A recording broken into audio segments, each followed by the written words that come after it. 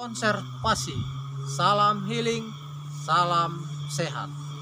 Pada hari ini Senin tanggal 17 Oktober 2022 saya berada di kawasan Suaka Marga Satwa Lombuyan.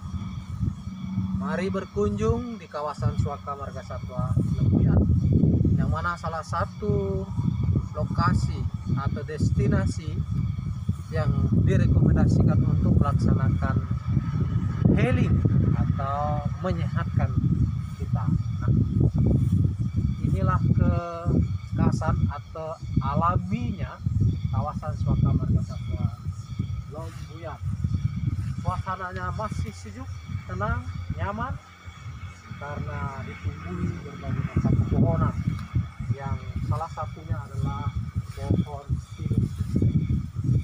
Teman-teman sekalian bisa kita lihat pohon pinus yang ada di kawasan Suaka Marga Satwa Lembuyan.